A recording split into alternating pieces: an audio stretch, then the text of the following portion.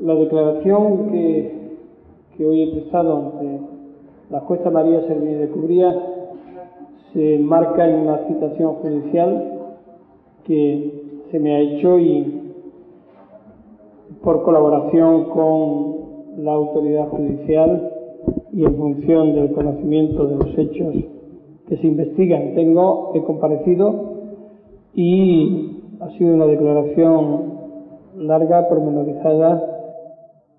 y en la que, como no podía ser de otra forma, he contestado a los distintos puntos. Desde mi punto de vista no hay ninguna investigación abierta en España que eh, vaya a establecer las eventuales responsabilidades por crímenes eh, presuntamente cometidos durante la dictadura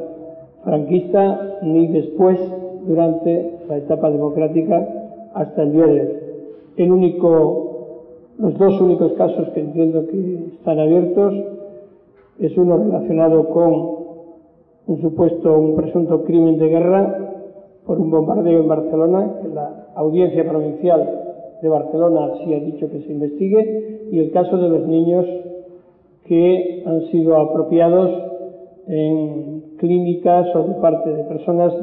entre los años 60 y 70. Más allá de esos dos ejemplos, entiendo que no hay ninguna investigación efectiva, porque por otra parte tampoco puede haberla, y ese es el sentido y la justificación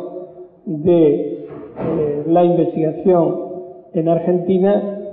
eh, investigación alguna por cuanto el Tribunal Supremo Español en marzo de 2012 claramente definió que no era posible esa investigación. Por tanto, la única investigación que hoy día existe, investigación judicial, penal que existe en el mundo respecto de los crímenes cometidos durante la dictadura del general Franco es en el juzgado que dirige la juez María Servini de Cubría en Argentina.